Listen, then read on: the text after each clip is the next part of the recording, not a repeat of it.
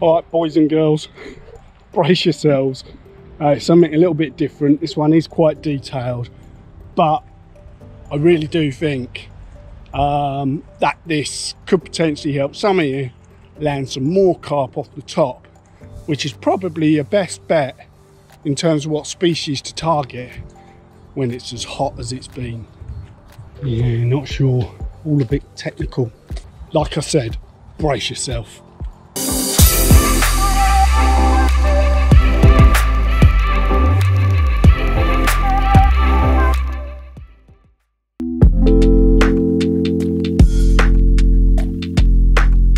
Thanks for choosing to watch the video.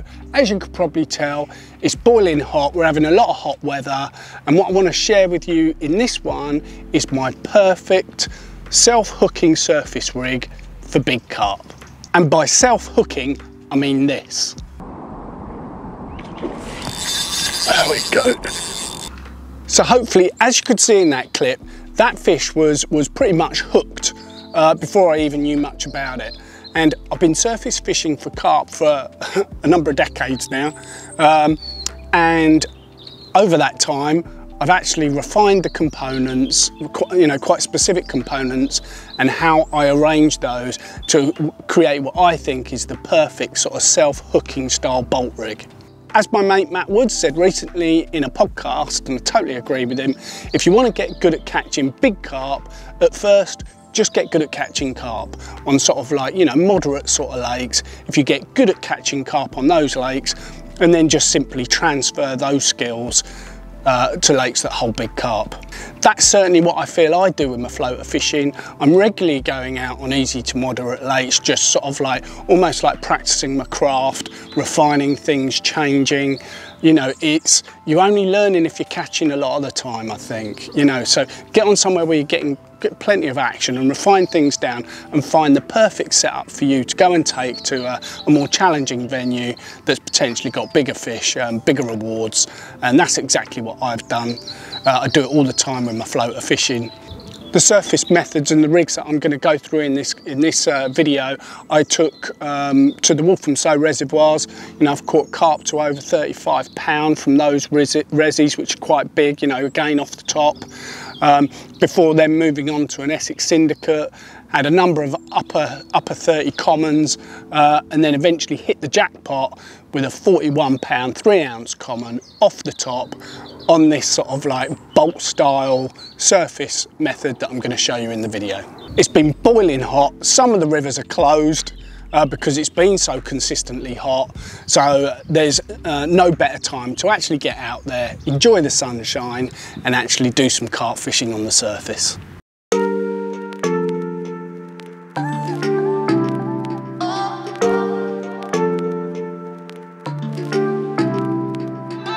So I'm a bit of a mess, bit hot and sweaty, covered in fish slime because I've just had an absolutely magnificent common.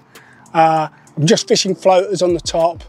Um, I'm going to quickly take you through the rig and everything before we have a look at a look at the fish that I had. What I'm going to do, I'm going to quickly show you through the outfit that sits in my car all the way from spring right the way through to autumn for this summer fishing. I just love floater fishing in the summer. It's one of my favourite ways to catch carp. I've got the 10 foot opportunist rod, 2.25 test curve, a 4000 size axis reel. Um, I want to make sure that it's heavier than the hook length. You know, if I snap up, I want to make sure it's the hook length that goes. Onto the main line, I have got the surface bomb. I've got the larger size there. It's about three quarters full of water at the moment. Uh, I've got a swivel locked into it. I've then got a two foot length of 10 pound fluorocarbon coming down to a size 10 specimen hook and uh, trimmed down pop-up on the hair. I've made sure that that pop-up is really nice and snug to the hook. So that's a quick review of the rig, um, but I want to drill into it in detail, specifically around, you know, what components I'm using to create this bolt sort of self-hooking um, method.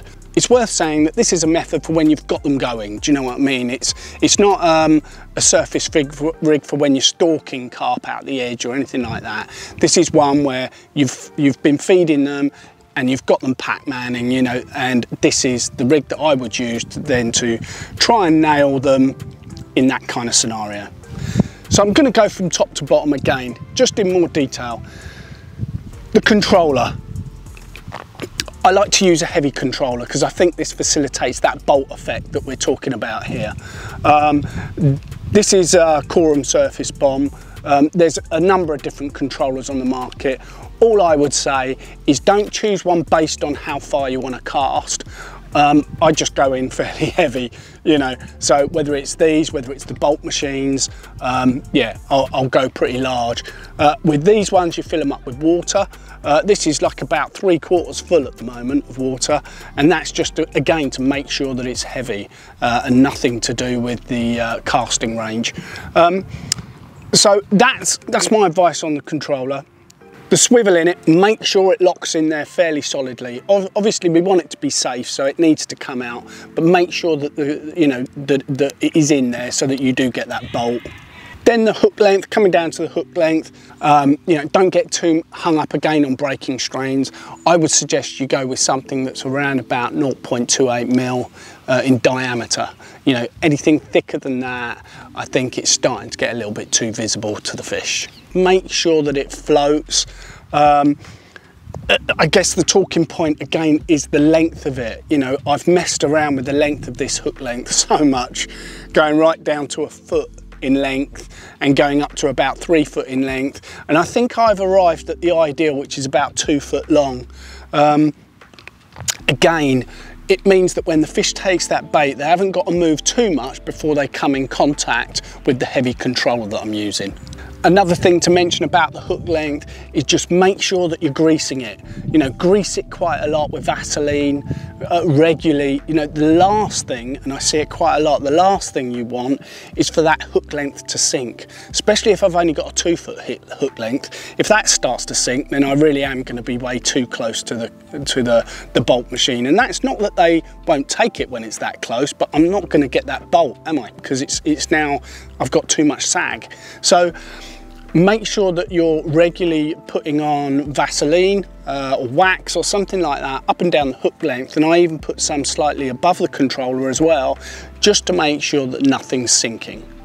Coming down to the hook, uh, this is knotless knotted on um, and the main thing I would say about that hook, for me, I've used a lot of different hooks for surface fishing. I find a size 10 is perfect for me. I've caught some very big fish, including that 41 on a size 10 hook. I think the main thing is not all size 10 hooks are the same look at the hook, make sure it's got a thick wire, make sure that you know that it's going to be able to land a big fish. You know, you get some size 10 hooks that are weaker than others, so just make sure that it's a strong size 10 hook because that, that is quite small. I think one of the main things I want to say about the hook is make sure that it's got a straight point. Um, I don't like to use beak points either for zigs or, or surface fishing and that is because remember um, we haven't, you know, we're not fishing with the lead here.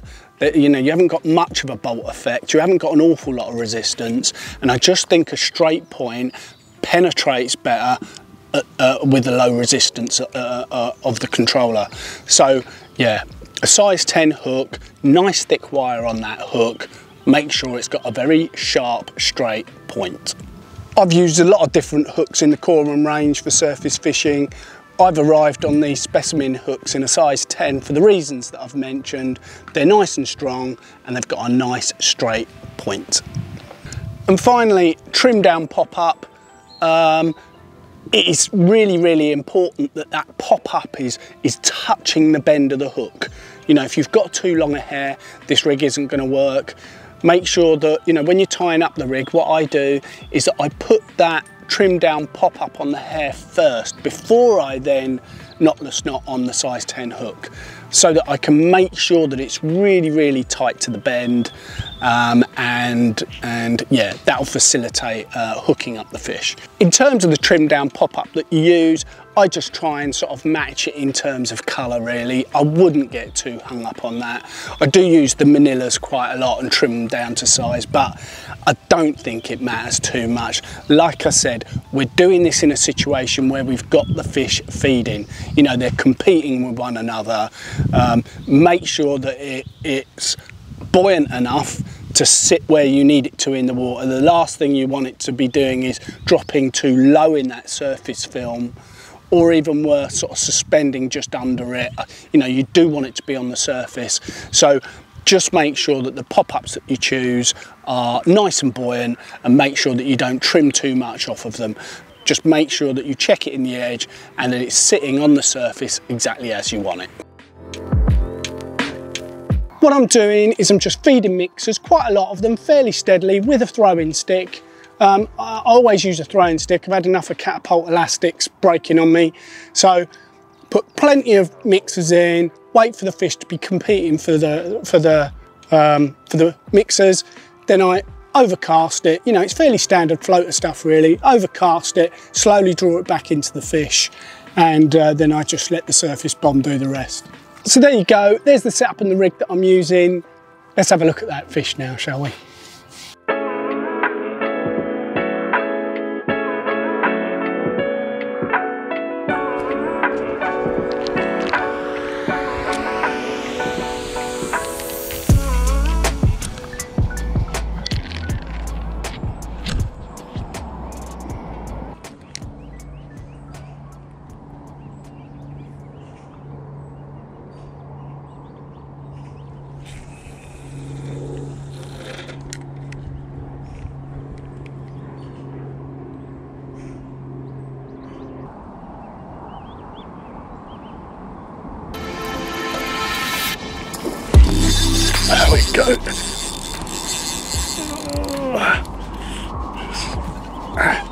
Just had to be patient.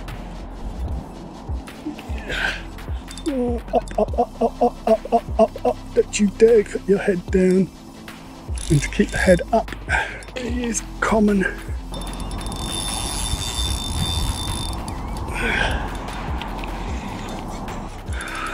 Enjoying the sunshine and a bit of surface fishing in the net.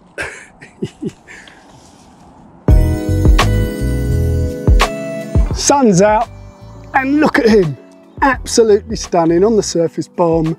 Fairly simple tactics. Um, next time the sun's out, make sure that you grab your surface bombs and get out there and have an amazing time catching fish like this, this absolutely immaculate common. Unreal.